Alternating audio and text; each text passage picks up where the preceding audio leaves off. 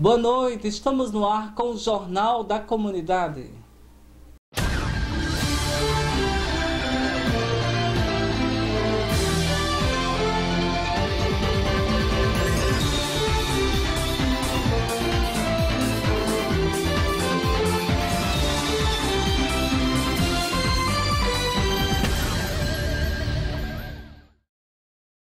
Estamos no ar com o Jornal da Comunidade. Vamos chamar a primeira matéria de hoje.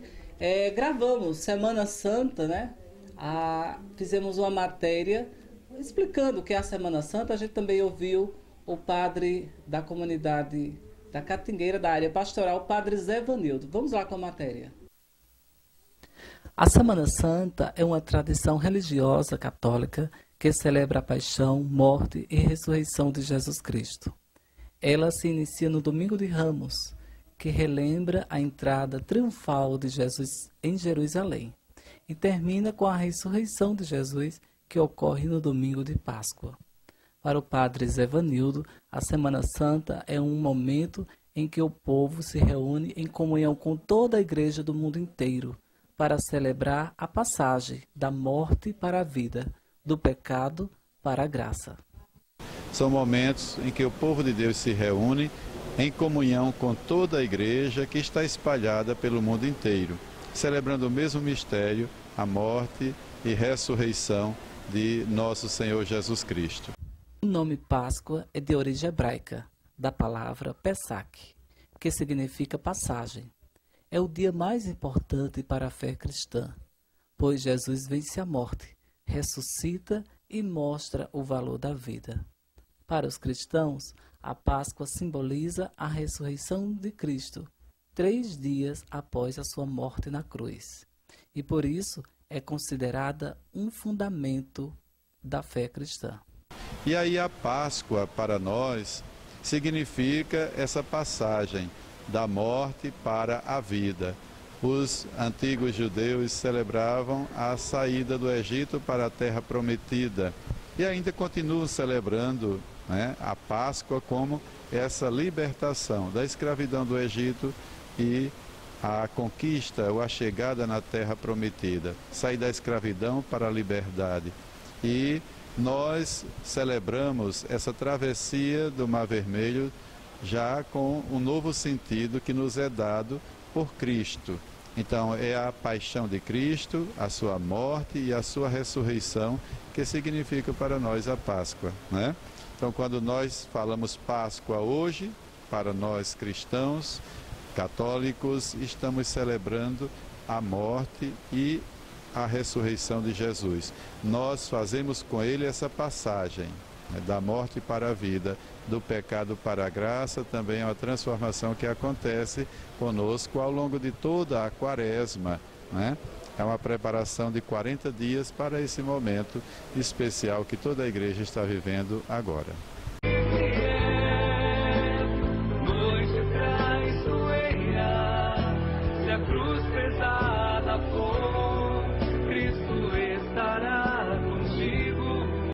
Tá aí, muito boa, né, a matéria. A gente estamos acompanhando também hoje, sábado, domingo, domingo de Páscoa. A gente ouviu as pessoas também foi uma reportagem muito especial, muito legal também. É, inclusive, nesse bloco agora, vamos chamar mais uma matéria. É um apelo. A gente ouviu uma mãe que está precisando muito da nossa ajuda.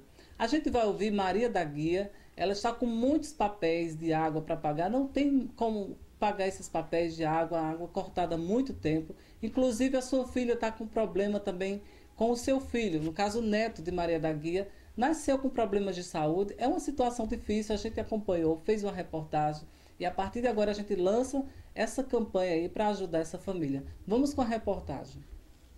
Nossa equipe de reportagem veio até aqui no conjunto Colinas Oeste, é uma rua projetada. Ouvi os apelos da comunidade. Estou aqui com Maria da Guia. Ela está com um problema muito sério porque a água está cortada, muitos papéis aí acumulados e ganha muito pouco, né, Guia, para poder fazer o pagamento dessa, desses papéis. E como foi que se deu esse processo aí até chegar a acumular esses papéis, Guia? É porque eu só ganho 85 por mês, tinha um vazamento d'água aqui, aí eu o homem foi, ligou Aí o repórter veio. Aí quando ele saiu, aí o gerente da Cajepa chegou, olhou meus papéis tudinho, eu mostrei ele, disse que não tinha condição. Quando foi depois, veio para cortar, veio foi cortar minha água. E eu vivo de, de ajuda, que eu ganho uma feirinha lá detrás do campo do 13, todo mês. Amanhã mesmo é dia de eu ir receber amanhã. E tem dia que aí vem quem dá o dinheiro para eu pagar a passagem é os vizinhos, que eu não tenho. Faz muito tempo que tem aqui, parece que é nove papel. Nove papel. E agora, se eu tivesse condição de trabalhar, eu ia trabalhar. Olha, ter coração crescido, problema de coluna, astrite, astrose, eu não posso trabalhar. Mas se eu pudesse, eu ia trabalhar e pagava, né? Mas eu não posso. Sou doente. E estou com um problema no estômago, que, que eu fiz até uma anoscopia. Estou para receber o resultado no dia 9 desse mês agora. Contato aí. É, tá ali o número da casa. Pega aí, Alexandre, a, o número da casa. Tá ali a quadra, o lote também, 17. Com todo esse problema, Dona Maria ainda sofre com a história do seu neto, o Juan Enzo. Ele nasceu com problema respiratório e eu não consegui engravidar. Escutava muita piada de gente e a mulher, a minha prima chegou para mim e falou que assim que eu não podia engravidar, minha irmã engravidava, mas eu não podia. Mas eu cheguei para ela e falei: Deus pode tudo. E quando foi no mês de setembro eu estava grávida dele. E graças a Deus ele está aqui. E depois que ele nasceu, teve as complicações, né? Teve as complicações e passou, eu passei quase três meses no exército com ele. Aí estou precisando de um leite mil nutri e a massa dele que é Fortine. E se for possível fralda também, que não posso trabalhar por causa dele, tem que ficar só para ele. Então ele está sendo acompanhado pelo médico, né? Acompanhado pela CD, pelo médico. E graças a Deus está correndo tudo bem. Aí no momento vocês estão precisando dessa, dessa massa, é, a gente pode ver aqui quem está em casa, pode, quem quiser ajudar também, alguém. O nome da massa é Fortine, não é isso? O nome da massa é Fortine e o leite é Mil Nutri. Então quem quiser é, ajudar ela com essa massa, porque ele precisa ganhar peso. É, para ganhar peso, que tem desnutrição. Aí precisa dessa massa para isso, que a médica passou, mas eu não tenho condição de comprar. Por causa que não posso trabalhar, o dinheiro que eu recebo é, é 124 do Bolsa Família. Aí, e além disso paga aluguel, né? E paga aluguel. É para tudo. For a ajuda que vier, é bem-vinda. Então tá aí. É a mãe, a gente até conversou com ela aqui também, né? É Maria da Guia. Então a situação difícil para sua filha, ver seu netinho nessa situação aí difícil. Tem vez do que eu ganho, eu ainda dou uma ajuda de, de comida para ela, porque é da feirinha que eu ganho, porque aí ela não tem, né? Aí eu ajudo ela. E quem puder ajudar ela também, com o negócio de feira também, será bem-vindo, né?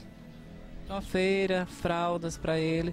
Essa massa, o leite é muito importante, né? É muito importante. Ele precisa muito dessa massa, que é para ele pegar peso. E o leite também. O Enzo, né, tem um ano e nove meses e ele não anda ainda. Não anda ainda, que é fraquinho, porque precisa da medicação, vitamina, que é para fortalecer os ossinhos dele. Aí por isso que ele não anda ainda. É fraquinho ainda, não se senta ainda. Assim, ele se senta, mas passa um pedacinho depois cai de, sentadinho, deitadinho. O remédio dele. O remédio dele. Você falou também que ele vai submeter a uma cirurgia ainda. É, cirurgia de uma hérnia. Aí tem um remédio de anemia dele que é cinco caixinhas, dá 106 reais. Aí ele precisa desse remédio também. Então tem algum telefone de contato que vocês possam deixar? Pronto. Então a gente vai aparecer aí embaixo o telefone de contato. Alguém queira ajudar de alguma forma, qualquer ajuda nesse momento é bem-vinda, né? Então, vocês podem entrar em contato diretamente com ela ou também com a nossa produção, vai estar aparecendo o telefone, o telefone da nossa produção aí embaixo também. Vamos entrar em contato, vamos ajudar e dando certo, qualquer ajuda que vier aqui para casa dela, a gente volta também aqui para registrar é, o que as pessoas estão doando para a gente. É 88 30 34 27 tá aí, vocês podem ajudar essa senhora, essa criança e essa família a ser mais feliz. Tá aí, quem quiser ajudar, os, telefones apareceram aí na tela. Então é algo muito importante, né? A gente ter essa solidariedade de, de ajudar o nosso próximo. Então você que viu essa matéria, se sensibilizou, compartilha, compartilha o nosso jornal, divulga também aí para as pessoas que possam ajudar de alguma forma. Vamos ao intervalo, daqui a pouquinho a gente volta com mais Jornal da Comunidade e em seguida é aquela polêmica toda da água contaminada aqui em Campina Grande, foi matéria nacional sobre aquele peixe conhecido paulistinha, né, que causou a contaminação. A Cagepa é, mandou para a gente, para a nossa equipe, uma nota de esclarecimento. Logo após o intervalo, a gente traz essa matéria e também essa nota. Vamos ao intervalo, daqui a pouco a gente volta. SWCell, assistência técnica, celulares e acessórios. Fábio Freitas, Tatu. Endereço: Calçadão, Jimmy Oliveira, número 36, no centro de Campina Grande. Edifício São Luís, sala 107. Pelo nosso WhatsApp, 0 prestadora 83 9 8 7 7 8 1 7 9 5. Grota, estivas e cereais. Mais de 2 mil itens para o seu supermercado. Solicite um vendedor. 996014818. Pensou em medicamentos? Visite hoje mesmo a farmácia Jalfarma. Fica localizado na rua Manuel Batista, em frente à Igreja Católica da Catingueira, de Jalfarma. A farmácia mais perto de você.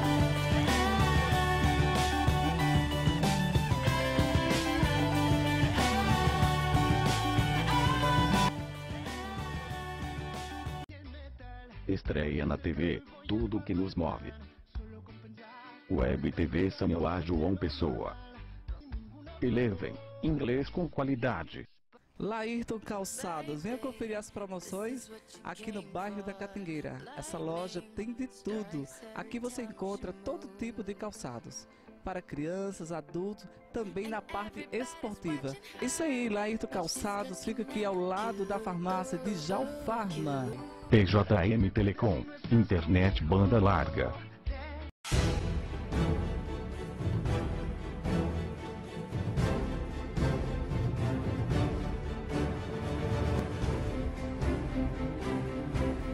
Estamos de volta com o Jornal da Comunidade e vamos chamar a matéria aí sobre, foi uma matéria nacional, a gente vai pegar algum trechozinho, foi da Rede Record que trouxe essa matéria, foi uma polêmica muito grande, né, falando que a água do açude de Boqueirão, Epitácio e Pessoas estava contaminada e os peixes, né, conhecido como paulistinha, é, estava também sendo contaminado e as pessoas estavam consumindo. Vamos entender um pouquinho a matéria e logo após eu trago a nota de esclarecimento que Ronaldo Menezes, o diretor da Cagepa, nos enviou, enviou para a nossa equipe.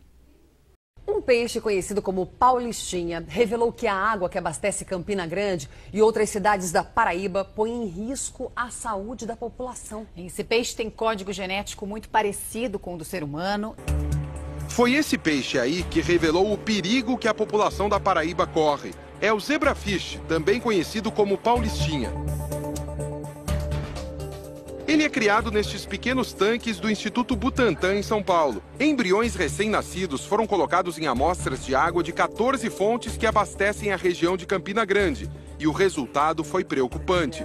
Segundo a pesquisadora responsável pelos testes, em 90% das amostras, de cada 10 peixes, 4 morreram e 6 cresceram com deformidades. O que eu vi nessas diferentes águas é que a maior parte delas causavam deformidade na coluna, edema cardíaco, é, má formação, alguns não tinham boca, alguns não tinham olhos. Mônica acompanhou a primeira semana de vida dos peixes em laboratório. O crescimento do paulistinha é muito rápido. Em 48 horas já atinge a fase de larva. Os peixes que cresceram com anomalias sofreram o efeito de toxinas presentes em cianobactérias, elas foram descobertas pela análise das amostras de água na Universidade Federal do Rio de Janeiro. O perigo das cianobactérias é maior em reservatórios com menor volume de água. A seca castiga a Paraíba há cinco anos e o nível da maioria dos açudes é crítico. A água usada na pesquisa saiu de reservatórios como o do Boqueirão. Ele abastece cerca de um milhão de pessoas em Campina Grande e outras cidades da região. E também de açudes, carros, pipas e poços artesianos, inclusive o do Hospital Municipal Pedro I, um dos mais importantes da cidade. Foi isso que mais assustou os pesquisadores. A água tratada também estava contaminada. Existe hoje uma grande dificuldade, são raros os tratamentos que são feitos e que eliminam as cianotoxinas, porque elas são muito resistentes.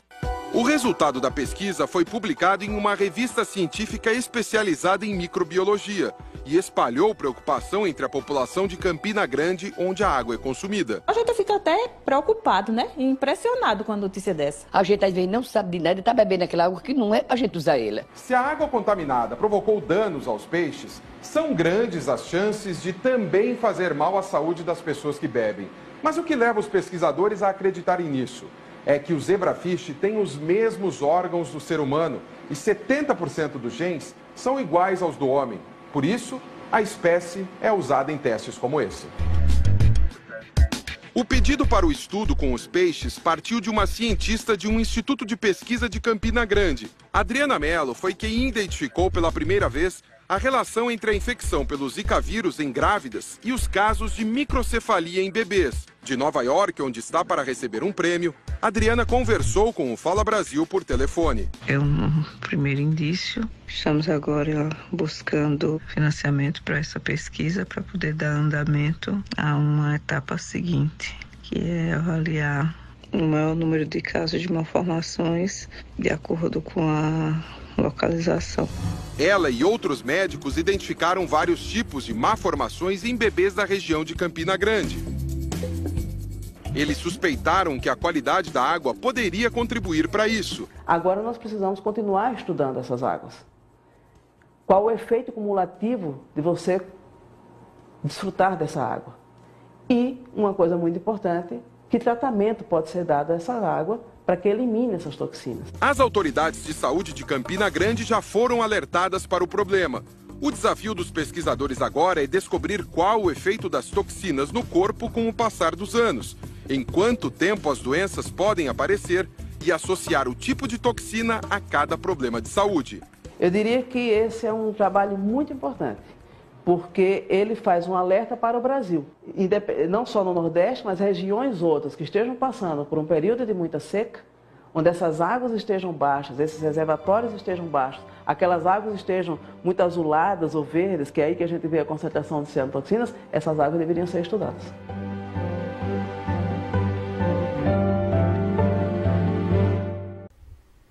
Tá aí a reportagem e agora vamos lá com a nota de esclarecimento. A CAGEP enviou para nossa equipe. A Companhia de Água e Esgoto da Paraíba, por meio da Gerência Regional da Borborema, público prestar os seguintes esclarecimentos sobre a qualidade da água captada no açude Epitácio Pessoa, o Buqueirão, e distribuída aos moradores de Campina Grande e de mais 18 cidades da região. A água, captada no açude Epitácio Pessoa, o Boqueirão, tratada e distribuída pela Cagepa, atende aos procedimentos de controle e vigilância da qualidade para o consumo humano e de seus padrões de potabilidade estabelecida no anexo 20 da Portaria de Consolidação de número 5/2017 do Ministério da Saúde. No que se refere a cinobactérias e cianotoxinas, são realizadas coletadas semanalmente no açude de Buqueirão, nas estações de tratamentos de Buqueirão e Gravatar em diversos pontos da rede de distribuição em Campina Grande. As análises de cianotoxinas são realizadas pelo Laboratório de Ecologia Aquática, da Universidade Estadual da Paraíba, UEPB, e em nenhuma situação encontraram-se valores que ultrapassassem os limites máximos estabelecidos no anexo 20 da Portaria de Consolidação de número 5/2017 do Ministério da Saúde.